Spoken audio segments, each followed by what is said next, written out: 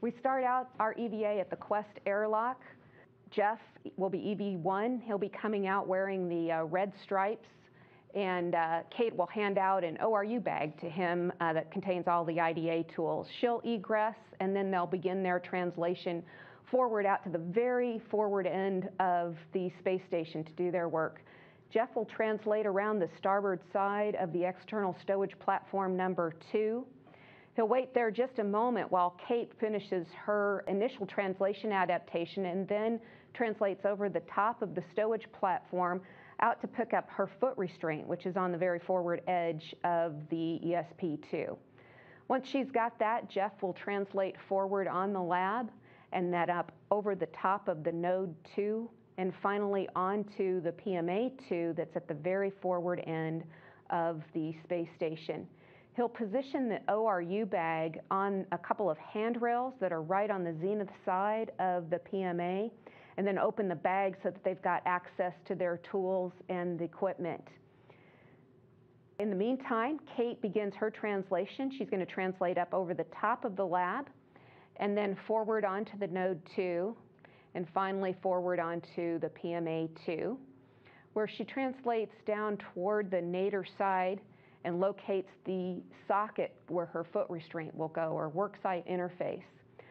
Once she has her foot restraint set up there, she'll be able to access the cables that were pre-positioned by Butch Wilmore on a prior EVA. They're tied off to a, in a bundle to a couple of handrails that are located on the PMA.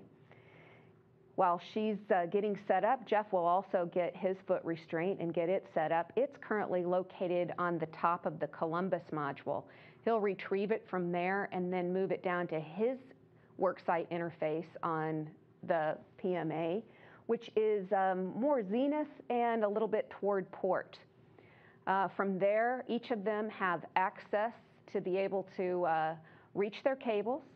Jeff's cables have also been pre-positioned on a prior EVA. Uh, Terry Virts left uh, two bundles of cables there for him to access.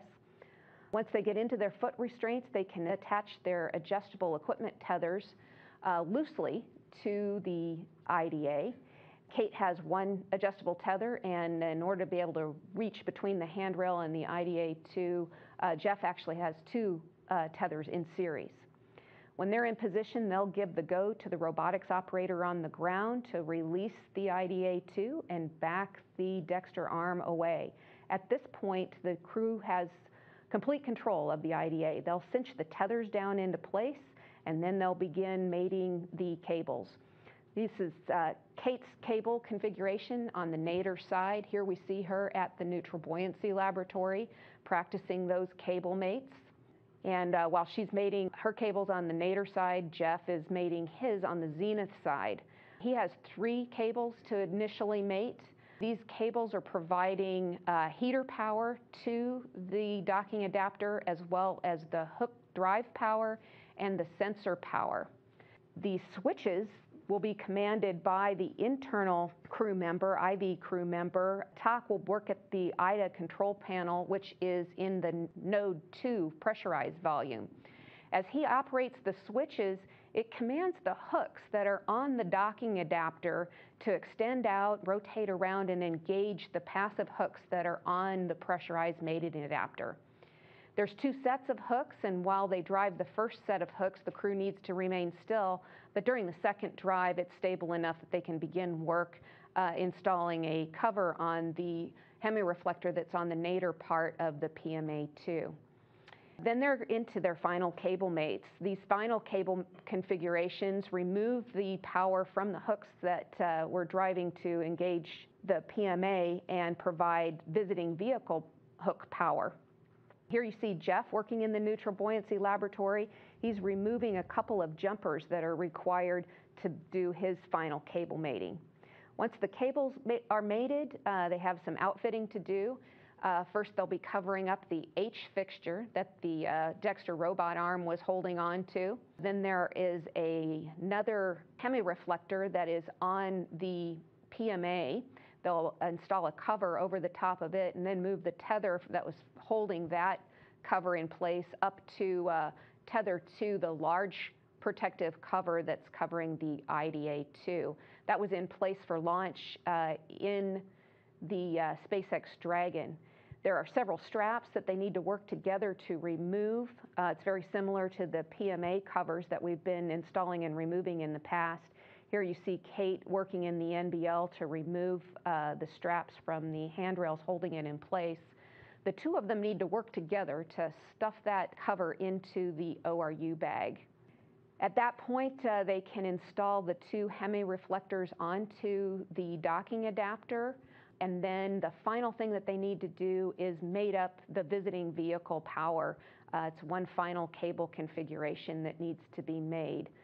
Jeff uh, will complete that mating, and at this point, that docking adapter is ready to receive our new crew vehicles.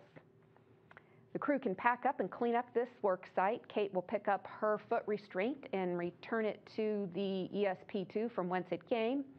Jeff has to pack up the ORU bag and also return his foot restraint. Uh, his foot restraint goes back um, from where it's located, uh, where he's been using it on the PMA. He'll take it back up to the top of the Columbus module. It'll be staged there in place for the IDA 3 installation that will be happening in late 2017 they return the ORU bag back to the airlock and then uh, go out, uh, Kate will go out to the lab nadir to a bag that's already there and route the cable for IDA 3. We call it the white green cable because we've put some tape marks on it in white and green to indicate which one it is. She routes it forward to the node 2 where it's in position for the IDA 3 installation. Jeff has some work to do back uh, in the area where the Z1, the Node 1, the Node 3, and the lab all come together. We refer to this area as the rat's nest because of all of the cables and electrical, electrical lines and fluid lines that route through that area. He'll pick up the cable bundle that was left uh, in position at the end of EVA 35.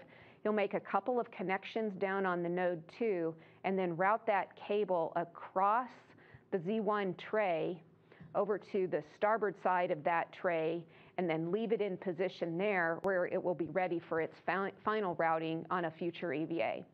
The last scheduled task for this spacewalk will be to remove a couple of caps from some connectors that are located just underneath the Z1 on the outside of the Node 1. At that point, the crew will return to the airlock and ingress if we've been particularly uh, lucky and efficient throughout the day and the hardware cooperates, rather than ingressing the airlock, we've got a couple of get-ahead tasks that we can do. One of them is to configure the port CETA cart. We'll tie down the brake handles to keep them out of the way for long-term operations on station. And then we also want to get some photos of the alpha magnetic spectrometer from the uh, windows and from all the cameras on space station, we cannot see the outboard side of the AMS. And we'd like to get some photos of that area, see how it's doing, so um, they can get those photos from the top of the uh, logistics carrier that's located right next to it.